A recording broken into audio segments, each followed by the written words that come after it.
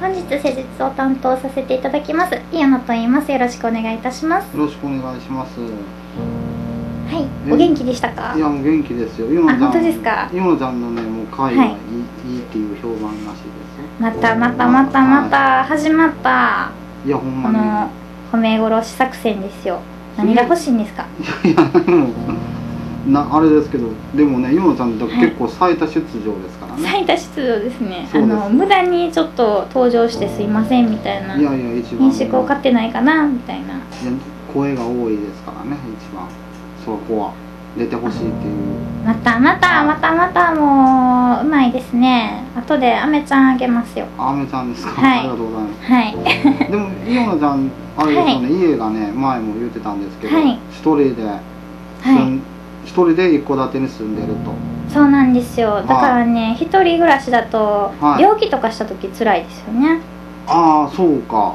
まあ親がおれへんからね。そうですね。一人で。はい。一人でねまあ全部しな寝とかなあかんわけです。か、はい。あなんかそんなうんあの感じなんであはい。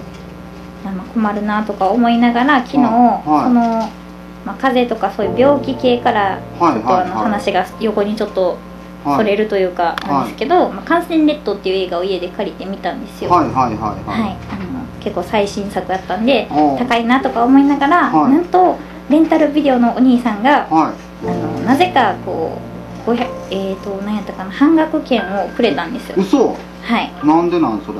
そういうキャなんでですかね。ンペーンなんですかね。そうなんですかね。なんか入ってきたらくれはったんで、まあ、そういうキャンペーンなんかもしれないんですけど、はいは何にでもあの半額で使えますよということで、い。は大概旧作とかやったら半額いでいけますよってね。100円とかね半額とかありますよね、よく。そういうのがあるからかなと思いきや、うんあの恐る恐る聞いたんですよ。この最新作にこれを使っていいですかって言ったら「あ全然いいですよ」って言われてくれてあなんていいお兄さんなんやとか思いながら、はい。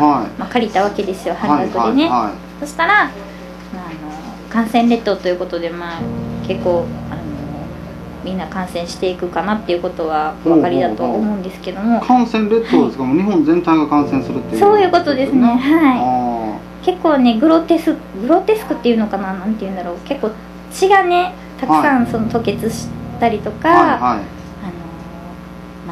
シューとこう吹き出しはったりとかいろいろ。はいはいはい。はい目からも血が出てるんですよ。あなんか。なんかそういうシーンありましたね、そうなんですよ、はいはいはい。ちょっとね気持ち悪い感じなんですけど、はい。まあ、まあ割と平気な方で私は。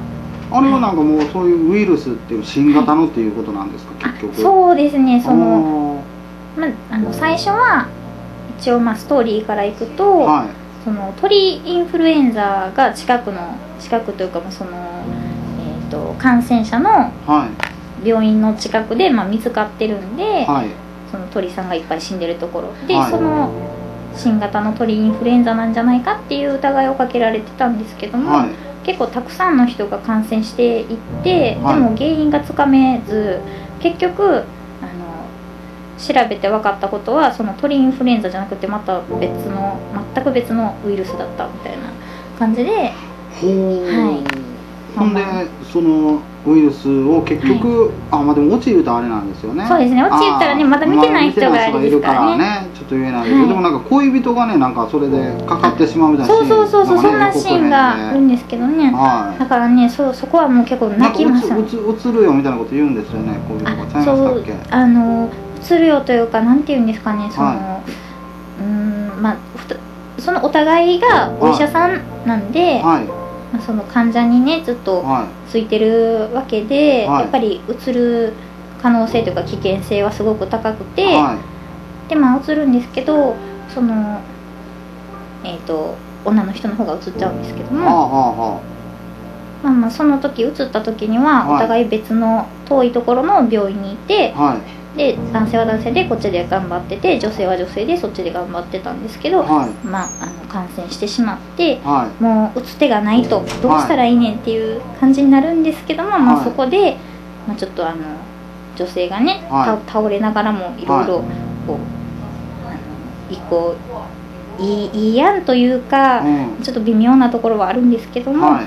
まあ、なんかあのもしかしたらっていう希望の光を見出してっていう感じで、まあ、もっと深いところでね、はい。お話は最後終結するんですけども、まあ、それは見てもらってからの方がいいかなって感じです。よね見てやっぱ面白かった面白かったっていう感じですか？やっぱり。まあ良かったそうですっていうか。ね。うーん。そのフレーズがあるフレーズがねすごくね、はい。素敵だったんですよ、はい。はい。そのフレーズっていうのが、はい。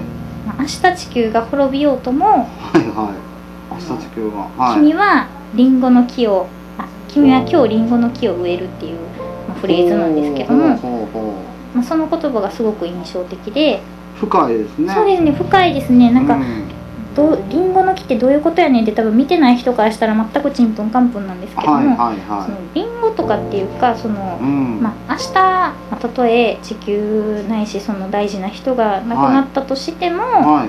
今日あのできることはあるよみたいな感じだと思うんですよ、なるほどはい、希望はあるんだよみたいな、はい。はい、そんな感じですごくねあの、うん。印象深い言葉うん。で、まあ、それも含めてこうぜひ見ていただきたいなとか思うんですけども、いい話ですね。そうですね。ちょっと。グロテスクなんで、まあ、女性とか子供まあ病気ですからね、うんそうですね、そのあのグロテスクっていうかその血のシーンがねちょっと、苦手な方はそうですね。苦手な方はね、うん。はい。あの倒れはってもちょっと嫌やしなみたいな感じで、はいでもそういうまあ映画パニックムービーみたいなのはまあ一人で見れるけどその家でね、言うたらはい怖い。ホラー映画とかあるじゃないですか、あーはいはいはい、ああいうの見るとほんまに怖いですよね一人やったら。そうですね。一人でね結構、はだから一人で見る時はお昼間にちょっと勇気を出してみますね。そういうの好きなんか嫌い好きか嫌いかで言うと好きな方そうですね好きな方でですね。うん結構見たいですね。リングとかああいうのも見たりとかしてた、あそうですね。えっとね何やったっけあのさ貞子が出てくるのがリングでしたっけ？はい。はいはい。あのはい。一人ではちょっとそれは怖かったんですけどあまあ友達とまあ、友達と、あはい、見ましたね。お家でビデオというか DVD を借りて。はいはいはい、はえー、あそっか。でも一人やったら一人で見るのはちょっと勇気いるなっていう感じですよね。そうですね。え逆にどうですか？僕も怖いですよ一人で見るのは。あ本当ですか。そうそうそう。あのお化け屋敷お化け屋敷とかも怖いですあー。えいろんなちゃんお化け屋敷とかで好きなんですか？好きですね結構。あのい行ったことあるんですか？はいあの昔ねリング最後の7日間とかいうやつを、あの昔遊園地で。やってどこでしたっけ、あれえっと多分エクスポランドかなんかだと思うんですけど。も特設のね、はいそうそうそうそう、はいはい。そういう会場でねやってはって。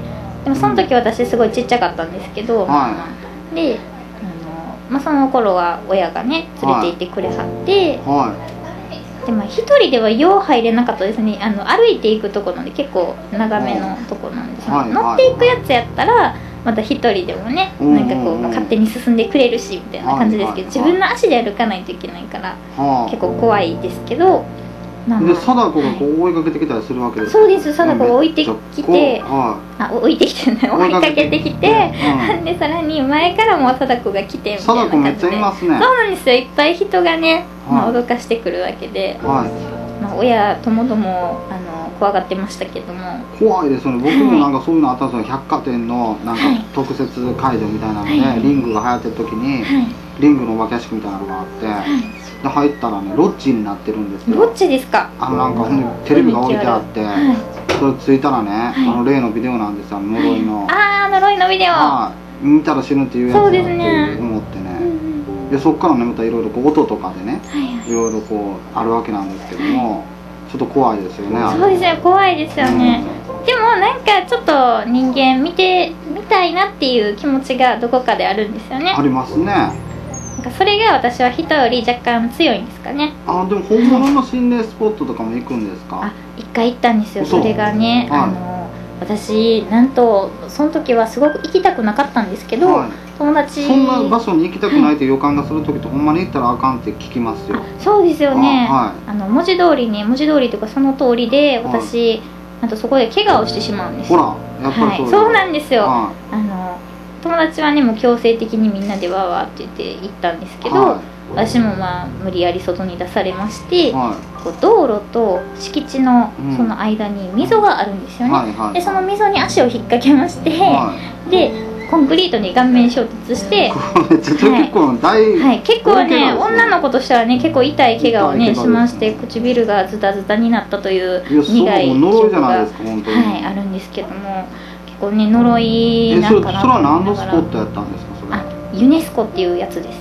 ユネスコ？はいあの潰れた精神病院うわそれめっちゃ怖いそうなんですよ。は。いまた次回にそはい。の話ははい。はい、ありがとうございました。ありがとうございました